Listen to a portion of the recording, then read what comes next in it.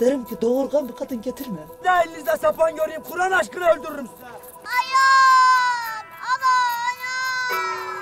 Ana! Ama bak şimdi iki tahlilinde temiz çıktı. Yağdır yağdır duyurma yağdır. Yumurtlamayan tavuğu kessek mi? Ya Asya'yı bana göstermeyin.